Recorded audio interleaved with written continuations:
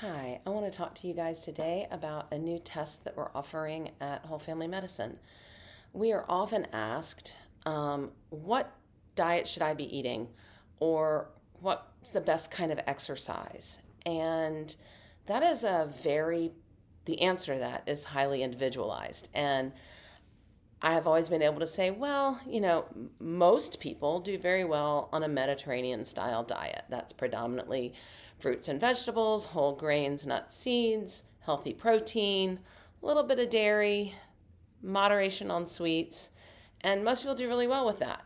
Um, there are some patients we've seen through time that do better on vegetarian diets or on paleo, but just looking at you and the labs that we do, it's very difficult for us to answer that question, like exactly what mix of carbs and fats and protein is best for you.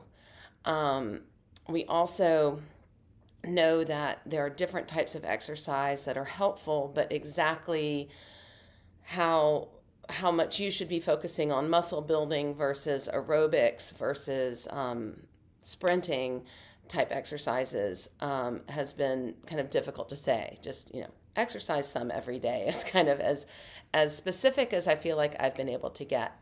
So I've been looking at for a long time um, ways to try and get at this that I believe have validity.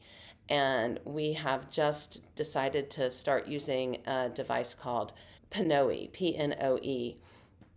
It is a device that measures your utilization of oxygen and how much CO2 you're creating given the amount of oxygen that you're using. There are two different tests we can do with this device. The first is a resting test, which we are able to do very easily in our office. Um, it is a test that measures how much, how many calories you are burning in the resting state, and um, whether or not you're burning mostly fats or mostly carbohydrates when you come in in the fasting state. With that information, the um, the nutritionists that work for the Pnoe company are able to determine your mac- your ideal macronutrient balance, what would push you more into um, fat burning or more energy efficient or increase your basal metabolic rate, um, which is mostly important for weight maintenance, but it's also important for longevity and for weight loss if that's a goal that you have. Um, for um, an added fee, um, you can also get a three month, very personalized dietary plan, a nutritional plan that is designed to meet your specific micronutrient macronutrient needs. Um, that comes with recipes, it comes with shopping lists. It's very thorough, and it's a three month program. Um, and I think that that is the the best we can do to match where you are with where you want to be. And those those programs are designed based around your goals, whether it's maintenance of health, longevity, or performance, athletic performance, or weight loss. Um, the second test we can do with the device is actually, I'm, I just find it very fascinating. I'm excited about it. It's an exercise test, and you wear the the oxygen utilization mask, and it, it measures, among other things, it determines your the maximum rate that you currently can utilize oxygen, and that that measure, your VO2 max, a ventilatory oxygen utilization maximum, is a, a very strong predictor of your longevity. Um, in addition to that, which is, I think, fascinating and interesting in and of itself, but maybe not worth doing the test for. It also says the heart rate at which you are maximally burning fat.